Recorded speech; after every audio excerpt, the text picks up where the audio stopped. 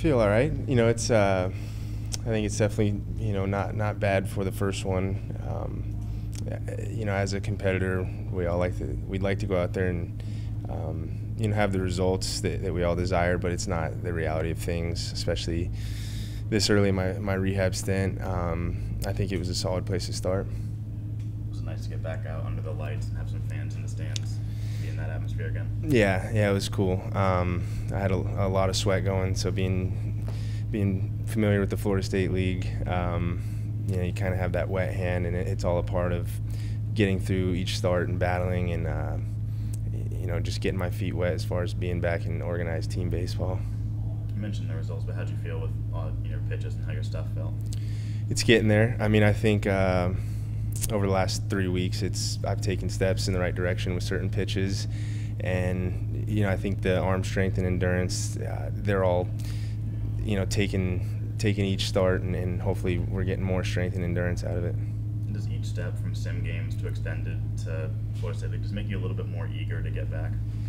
Yeah, um, you know, nobody. It's not a comfortable place to be on the DL. It's it, it, definitely can make your mind start to do a lot more wondering than you're used to. So, having said that, um, very excited to, to, get back to the team whenever that may be. We, you know, we're playing well right now, um, and they're having a lot of fun. I know on the road, so um, that's always on you know in, in my mind. Um, but trying to take small little victories like you know tonight. I was happy with some of my off-speed pitches, um, and so kind of try to focus on those things as well and not get too far ahead of myself. Have they given you any indication of your schedule going forward?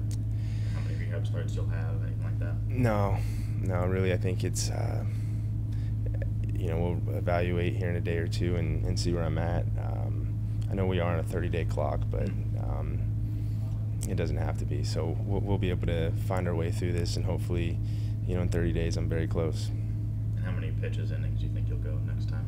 Do you know? I don't know. Yeah, I mean, I think I think we'll probably. I don't know. You know, I was at 50 tonight or something, so I would assume there'd be a little bit of an increase.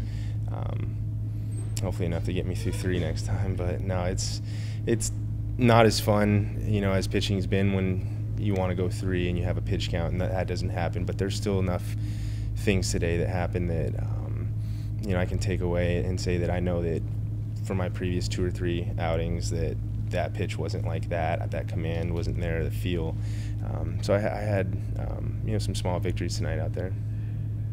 Talk about the last 13 months from surgery to to now. I'm sure it's been long, but um, now that you can see the light at the end of the tunnel, tell me what it tell me what it was like rehabbing. Like last year, we see you in the dugout a lot, so you were hanging with the team a lot, but you still had to get your rehab in. Yeah, I, I mean, there's a lot of different ways to go about it as far as how you want to rehab your injury, and you know, my teammates were pretty much the the, the reason why I came back. Um, you know, we have a great medical staff, so that was. Um, you know, cherry on top as far as wanting to be around my teammates, still being able to get quality work in. Uh, 13 months, it's actually not a long time unless you're waiting for something. Um, you know, it's it doesn't seem that long ago, but since I've been on a mound and I've been wanting to compete, it's absolutely been a long time baseball, you know, talking about it in baseball terms.